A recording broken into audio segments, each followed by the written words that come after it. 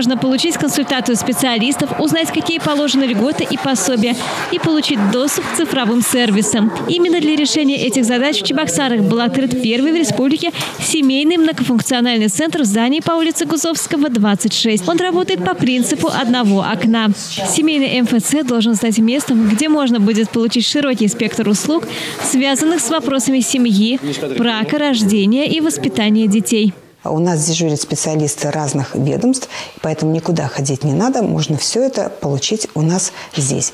И при том, что семьи обслуживаются все, независимо от категории и независимо от возраста детей. Основная задача сотрудников центра – сопровождение семьи до полного разрешения жизненной ситуации. В отделении первичного приема семей с детьми создано несколько зон.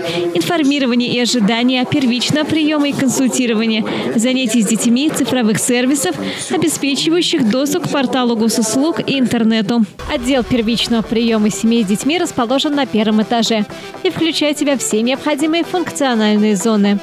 Зона информирования и ожидания – Здесь расположен ресепшн, гардероб, стойка с информационными материалами. Зона цифровых сервисов. В этой зоне граждане самостоятельно или с помощью администратора могут найти ответ на свой вопрос, воспользовавшись общедоступными навигаторами и порталом социальных услуг. Зона консультирования. Здесь ведется первичный прием граждан и разрабатывается индивидуальный маршрут социального сопровождения. А пока родители общаются со специалистами, ребят занимает в детском игровом уголке специалист по работе с семьей. При необходимости нуждающиеся в социально-психологических и срочных социальных услугах семьи направляют к специалистам в отдел экстренной психологической помощи и экстренного реагирования. Здесь можно быстро и легко получить консультацию нужного специалиста, юриста, психолога и многих других. Школьники обычно обращаются именно, вот старшие школьники сейчас 9 класс заканчивают, частый запрос на «я не знаю, куда хочу поступить», «я не знаю, кем хочу быть». То есть у нас есть прям батарея методик, которые мы проводим, консультирование проводим. Это не просто он прошел тест, там в тесте вышел какой-то результат, и вот мы вот его с этим результатом оставляют. Нет, мы обязательно это прорабатываем. Прорабатываем не только результаты, а именно возможности ребенка, насколько, куда он сам хочет, какие у него есть ресурсы для этого. Может, мы ему поможем найти именно мотивацию или какие-то другие сторонние помощи, куда ребенок может обратиться. Все это упрощает получение различных видов помощи и поддержки, а значит, должно помочь снизить уровень социального напряжения. Я как малоимущая э, состою тут на учете. Э, моя старшая дочь э, каждое лето посещает лагерь почти бесплатно. Это очень удобно. И также тут проходят разные ярмарки вещей. Мы также новые вещи получаем совершенно бесплатно. То, то что нам необходимо. Узнала вообще случайно через социальную сеть. Вот, у, моя знакомая сюда ходит. Вот я ей написала. Она мне объяснила тут в двух словах, какие есть привилегии и преимущества. А, мне нравится здесь, э, что, что, что здесь ребенок привыкает к детскому саду. То есть он проходит адаптацию, общается и развивается с детьми своего возраста, развивает, общается. Вот. А то, что нравится чем? Удобное расположение. Мы живем рядом тоже в северо-западном районе. Вообще здорово, весело. При обращении в семейный МФЦ не потребуется собирать дополнительные справки. Главным свидетельством того, что семья нуждается в социальных услугах консультативного или иного характера, является проблема, которую предстоит решить. Центр работает ежедневно с 8 до 19 часов, в субботу с 10 до 14 часов.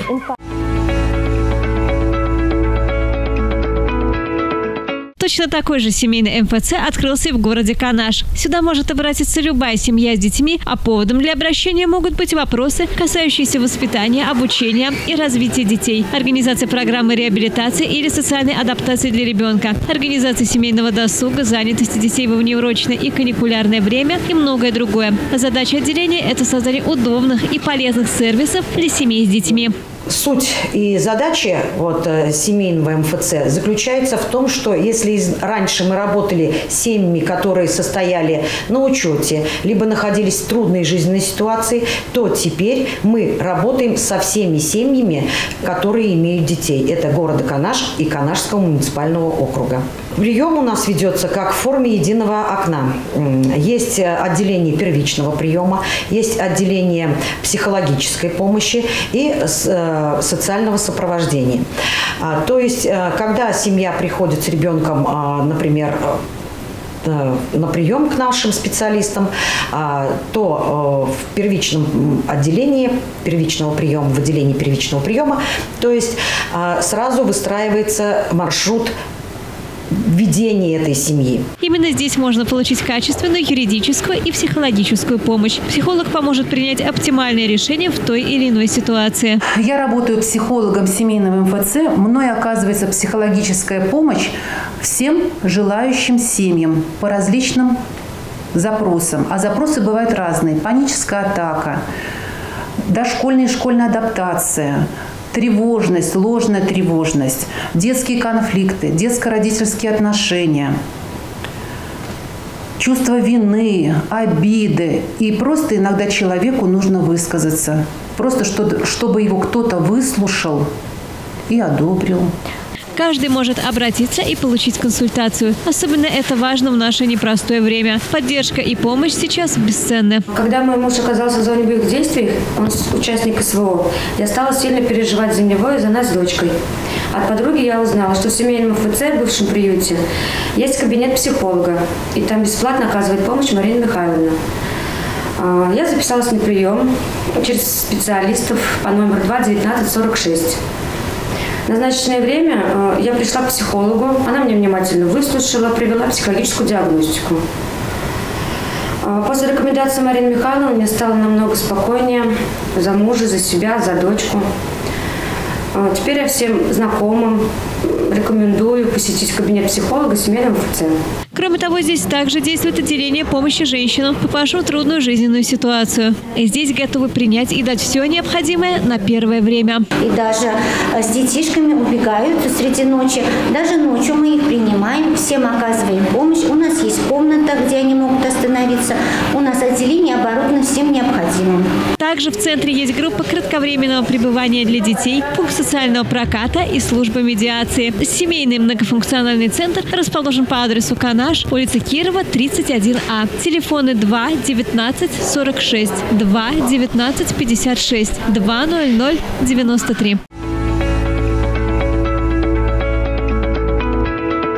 От сложных ситуаций в жизни никто не застрахован. Что делать женщине, если обстановка дома стала невыносимой и в данный момент ей просто некуда идти? Помочь могут в комплексном центре социального обслуживания населения города Чебоксары Минтруда Чувашии. В отделении помощи женщинам готовы принять тех, кто подвергся насилию, женщин с внутрисемейными конфликтами, находящихся в трудной жизненной ситуации, одиноких матерей с несовершеннолетними детьми, юных мам, которые тоже нуждаются в поддержке. Попадают с такими историями, что их э, выгоняют из дома не только мужья, не складываются отношения с родственниками, э, с близкими людьми. Если в семье, допустим, а, живут долгое время два поколения, такое тоже вот в последнее время вот мы с этим встречаемся. А, Еще такую категорию берем мы с обеспечением временного проживания. Это несовершеннолетние беременные, несовершеннолетние мамы.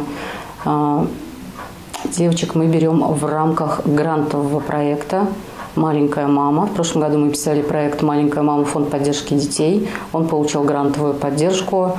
И он направлен на поддержку несовершеннолетних беременных, несовершеннолетних мам, которые находятся в трудной жизненной ситуации и которые нуждаются в помощи и поддержке государства. У каждой из этих женщин своя история. Здесь они могут получить защиту и понять, как действовать дальше. Жила с парнем, он меня выгнал из дома, я пошла в женскую консультацию на прием к врачу.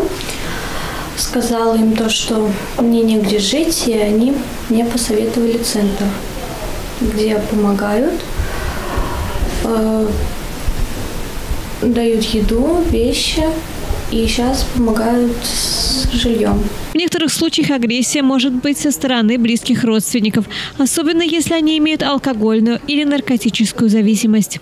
Я оказалась в трудной ситуации, у меня с родителями конфликт. Из-за этого я обратилась в этот центр. Я не часто здесь проживала. Раньше жила здесь. Мне здесь нравится, и детям нравится. Постоянно психологом беседую здесь. Тут вещи помогают, продуктами. Найти выход помогает психолог. Для женщин проводятся различные тренинги. Главная цель – обрести собственные ресурсы и возродиться как феникс, чтобы жить дальше. Ну, в первую очередь мы, конечно же, ищем эти ресурсы внутри самой женщины, понимая, что сама, каждая женщина сама себе помощник, сама себе э, хозяйка, сама себе э, спасатель. Вот. И если ждать э, какую-то помощь э, и поддержку от посторонних, то это, конечно, тяжело. Э, порой можно не дождаться, что близкие люди порой могут э, не быть настолько близкими, насколько мы рассчитываем. И поэтому женщина, э, женщинами мы прорабатываем все возможные ресурсы. Мы проходим э, терапию, мы проводим э, тренинги, мы проводим игры, э, женские круги. Вот, например, сегодня у нас тоже такое занятие. Таким образом, главное – это почувствовать, что ты не одна, что любую проблему можно решить. В отделении помощи женщинам, оказавшимся в трудной жизненной ситуации, можно прожить до 90 дней. Попросила этой помощи, вот, не знала, куда одеваться, и условий не было по квартире. Вот, осталась одна, вот, а какой ни мамы, ни папы нету. Вот, позвонила в центр и попросилась сюда с ребенком, с маленьким. Да, помогли мне очень хорошо. Спасибо работникам, что я такая самостоятельная стала. Все во всем силы взяла. Но иногда звоню, советы, вот какую спрашиваю, что нужно делать. Вот, и они во всем помогают. Здесь четыре жилые комнаты на шесть мест, в том числе две для мам с детьми дошкольного возраста. Центр расположен по адресу Хузангая, 29А. Контактный телефон 53 42 94.